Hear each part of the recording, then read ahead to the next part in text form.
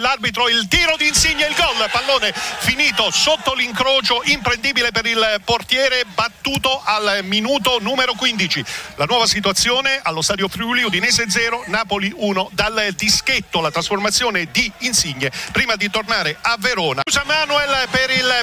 pareggio dell'Udinese con Kevin Lasagna, tutto questo al 27 minuto allo stadio Friuli, Udinese 1, Napoli 1 il pareggio di Lasagna su disimpegno sicuramente da rivedere. Dell'arbitro Pasqua di Tivoli, cross all'interno dell'area di rigore per il colpo di testa, il palo e la rete Bakayoko per il vantaggio del Napoli, Bakayoko è spuntato alle spalle di tutti ed è riuscito in diagonale a beffare Musso sul palo più lontano là dove mai il portiere dell'Udinese tra i migliori quest'oggi ci sarebbe arrivato, esultano, la porta è quella alla nostra destra, gli uomini di Gattuso in campo e quelli in panchina